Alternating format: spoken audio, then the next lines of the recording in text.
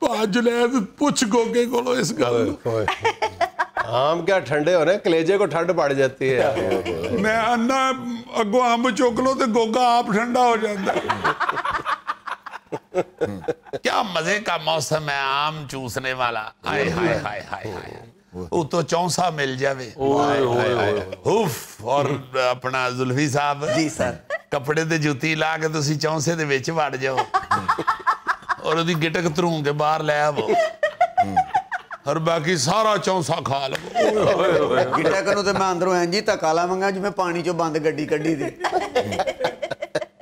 मैं कहता हूं जी कि आजकल आम जो है ना आम जी जी वो मैं तो रेडी पे पड़े हुए भी देखता हूं ना तो मैं आ, स्कूटर आहिस्ता करके उनको सलाम कर लेता हूं। सलाम के जनाब अम्ब साहिब लो अच्छा चौसे के नाम पे तुम ये देखो कि बेचा क्या क्या जा रहा है काला चौसा चिट्टा चौसा मोटा चौसा पतला चौसा पता नहीं केड़ा केड़ा चौसा ਲੇਟ ਚੌਂਸਾ लेट चौसा अच्छा समर के नाम पे चौसा चौसे के नाम पे समर पता नहीं क्या क्या बेचा जा रहा है चौसा असल में एक ही है जो अनवर रिटोल के फौरन बाद आता है और वही असल मजे का सफेद चौसा है चौंसा। हाँ सफेद चौसा असल में सफेद चौसा ही है जो थोड़ा सा मतलब हार्ड होता है। और अगर जरा सा पक जाए तो वो रबरी सा बन जाता है थोड़ा रबर लाइक हो जाता है। बहुत मज़े की चीज़। क्या बात है जी। अल्लाह पाक की इत, इतनी बड़ी अनायत है ये पाकिस्तान में। हाँ जी हाँ।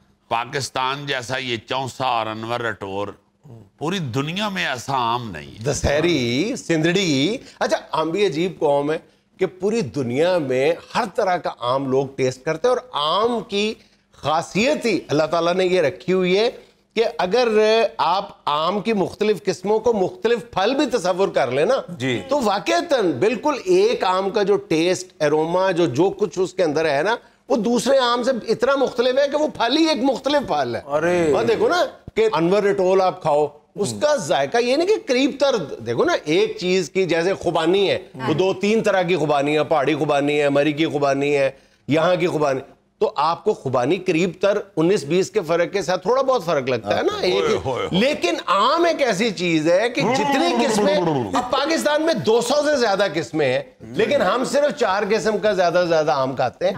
और अब आप इन चारों को भी देखें कि इनके जायके में ज़मीन आसमान का फ़र्क है। ज़मीन आस- बिल्कुल खाली फ़र्क है। ठंडे कर लो रिकॉर्डिंग मुकन वाली है। थैंक यू क्या फजूल बातें करते अम्ब ठंडे कर लो जैसे सारा कुछ तुम्हारे जाने पे ठंडा किया होता है खाना लगा होता है। नहीं नहीं ठंडा तो कर देना बाकी जाके तो कटना कुटना तो नहीं अच्छा तुमने मुझे याद है कुछ अर्सा पहले इसका ज़िक्र किया था कि हमारे यहाँ जो आम को पैल लगाई जाती है हाँ, आम पकाने के लिए जो कैल्शियम कार्बाइड का बेरहमाना इस्तेमाल किया जाता है और उस पर आपने बड़ी सैर हासिल। जो बीच में रखते हैं। पुड़ी जो रखी जाती है यार वो आम का जो पूरा जो तुमने एक नक्शा खींचा है ना आम का उसका बेड़ा गर्क करने में कोई कसर उठा नहीं रखी इस पुड़िया ने। वो जहर है वो जहर है। तो जहर मगर अब जितनी खपत है ना जी मैं अर्ज़ करता हूँ उसके बगैर पूरा नहीं हो सकता। ये ये ये एक हमारे यहाँ एक मिसकंसेप्शन है ये लोगों की ला इल्मी है कि हम अपने यहाँ लोगों को यानी पाकिस्तान में पैदा होने वाला जो आम है वो तो उस पुड़ी या कैल्शियम कार्बाइड से पकाया जाता है। ठीक है?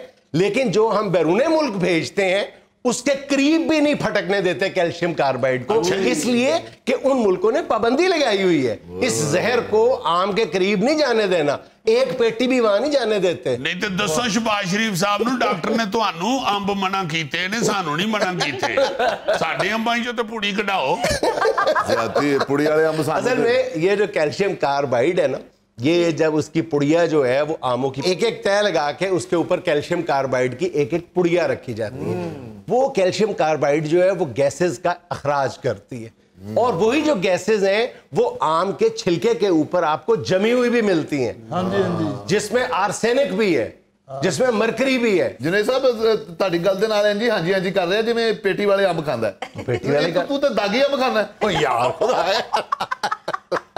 ਦੁਕਾਨਦਾਰ ਨੂੰ ਮਿਲਕ ਸ਼ੇਕ ਵਾਸਤੇ ਖੜਨੇ अरे होता पता है क्या है वो लोग बाज कहते हैं कि जी वो तो छिलके के ऊपर ही लगी रह जाती है ना। अगर आप छिलका उतार के आप काट के उसके क्यूब्स खाते हैं फिर तो किसी हद तक बात समझ में आती है। लेकिन होता यह है कि जब हम आम के पीसेस काटते हैं तो फिर हम छिलके समेत खाते हैं तो वो दांतों के साथ लग जाती है। वो फिर आपको तीन चार तरह की बड़ी खतरनाक बीमारियाँ अनायत कर जाती हैं। ये जो गैसेज हैं ये आपको कैंसर भी कर सकती हैं। फिर ये आपको खुराक की नाली की इन्फेक्शन अता कर सकती हैं गैसेज आपको ये जख्म दे सकती हैं खुराक की नाली में। कैंसर तक भी बाज मामला में नौबत पहुँच सकती है। इसलिए आप जितनी देखें ना गुस्ताखी माफ़ कथा कलामी माफ़ ये देखो कि कितनी खतरनाक है ये चीज़। हाँ और बखुदा इतनी रंज वाली बात है कि हुक्मरान सोए होते हैं। उनको ये एहसास ही नहीं होता कि ये कौम को क्या खिलाया जा रहा है ये हमारी ड्यूटी है। ये हमारा फ़र्ज़ है। अल्लाह ताला ने हमें इख्तियार सौंपे हैं।